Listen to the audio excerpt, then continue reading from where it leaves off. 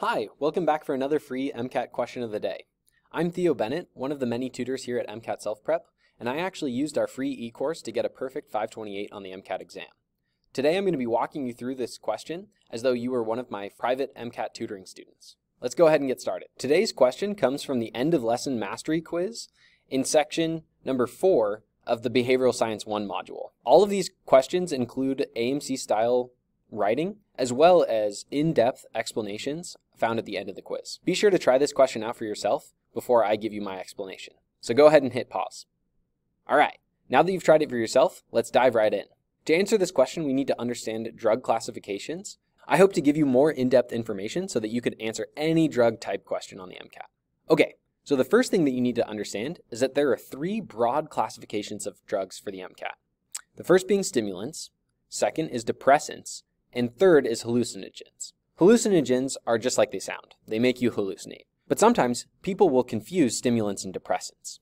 Stimulants will increase blood pressure, increase heart rate, and increase mental alertness, all by increasing the central nervous activity. Depressants, on the other hand, will decrease central nervous activity, decrease blood pressure, and decrease heart rate. Another thing that the MCAT loves to test is that combining stimulants and depressants will not actually cancel each other out. Instead, they can have dangerous and additive effects.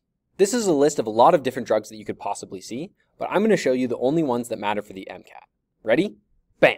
While this is a pretty exhaustive list, there are a few things that I also want to add.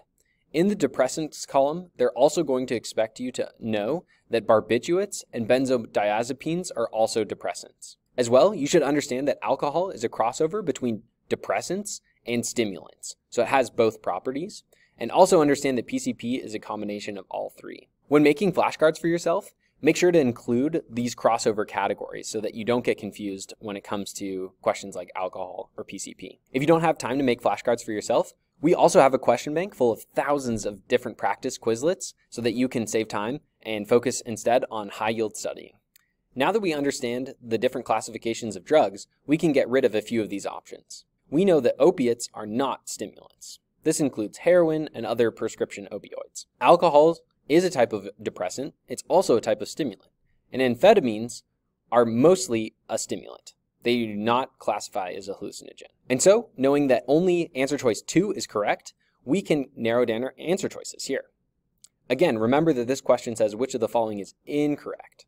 And so the answer is going to be 1 and 3. Thanks again for watching, and be sure to try out more of these questions on mcatselfprep.com.